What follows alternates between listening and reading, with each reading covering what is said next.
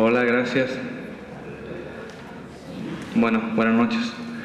Eh, se imaginarán que como boliviano, cuando me llegó el surrealista email de Cristian Di Napoli que me invitaba a la salida al mar, me entusiasmé en demasía y había pensado que a lo mejor los poetas habían logrado lo que los políticos no han podido todos estos años. A lo mejor nos habían dado un mar objetista o pop o no sé, una, una forma poética de mar. Finalmente hoy eh, eh, Cristian ha satisfecho mi curiosidad, pero mi fascinación ha acabado porque me ha dado la respuesta más rockera, me ha dicho que se llama salida al mar porque suena bien y es provocativo.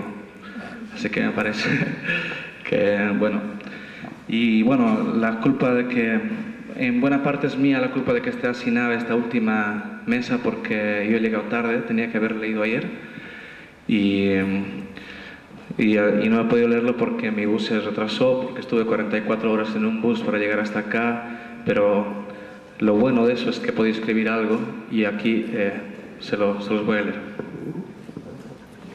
Silver and Gold. Estoy en el asiento número 36 de un bus de la flota trans de Yemani rumbo a la frontera en compañía de 43 contrabandistas, 8 niños pequeños y lloriqueantes y 5 estudiantes que dejarán los estudios en el próximo año para dedicarse al contrabando. La luna se sucede en estéreo en los gélidos cristales y los aromas se empujonean contra mis narices como murciélagos.